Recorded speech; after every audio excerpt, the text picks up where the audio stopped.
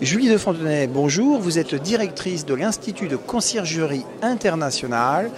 Alors, les métiers de la conciergerie, c'est quoi exactement? C'est beaucoup de choses. C'est avant tout la conciergerie en hôtellerie, hôtellerie de luxe, 4 étoiles, 5 étoiles, palace, mais aussi la conciergerie privée destinée à des particuliers, conciergerie d'entreprise destinée au bien-être des employés de l'entreprise, conciergerie événementielle sur des lieux et des salons comme euh, celui-ci, assistant personnel, majordome, plein de choses.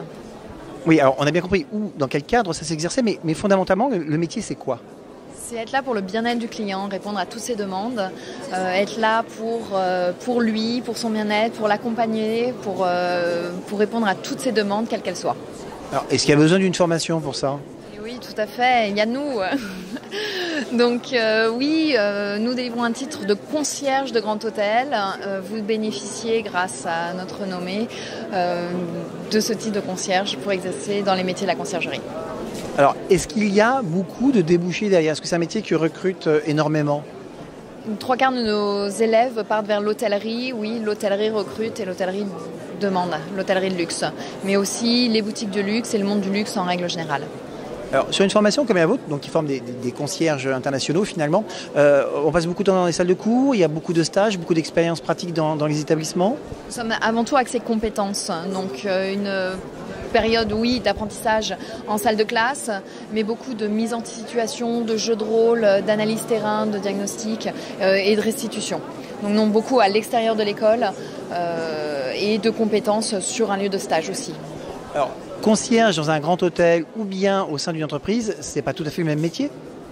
Pas du tout. Maintenant, le fait euh, de pouvoir répondre à une clientèle qui est multiculturelle au sein d'un hôtel euh, et d'être euh, dans un lieu de travail où vous travaillez donc 24 heures sur 24 euh, permet en entreprise d'avoir un cadre plus calme, une clientèle plus ciblée, donc qui peut faire le plus, peut faire le moins. Donc concierge de grand hôtel, adaptable à tout secteur d'activité. Alors, encore deux questions. La première, quel est le niveau et quels sont vos critères de recrutement? Vous, cherchez quoi comme profil d'étudiant et vous les recrutez avec quel diplôme? Alors nous recrutons un bac plus 2, bac plus 2 toute filière. Un quart de nos effectifs viennent de filières hôtelières, mais aussi euh, de licences euh, ou d'autres euh, bac plus 2.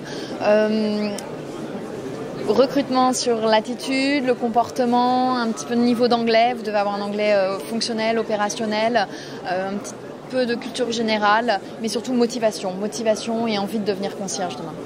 Dernière précision, il faut un bac plus 2 validé Validé, oui. Merci.